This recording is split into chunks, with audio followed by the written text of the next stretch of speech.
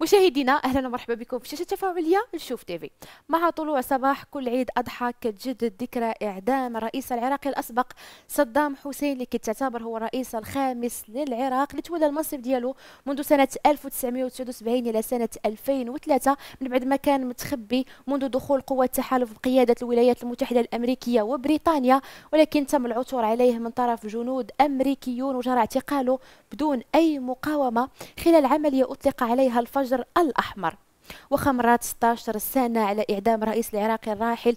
لا تزال الكثير من الأجيال كتذكروا كلما حل عيد الأضحى الكون تنفيذ الإعدام تم فجر يوم السبت 30 دجنبر 2006 الموافق للعاشر من ذي الحجة اللي كيحتفلوا به المسلمون بعيد الأضحى المبارك.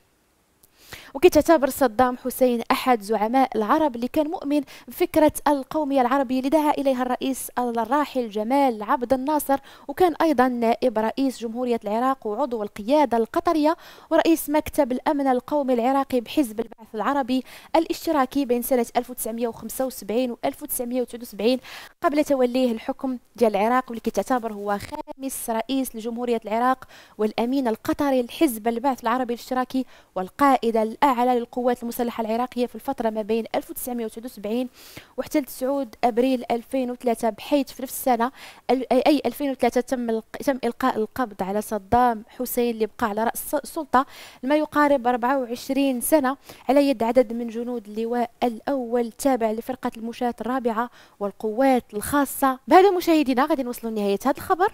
إلى اللقاء.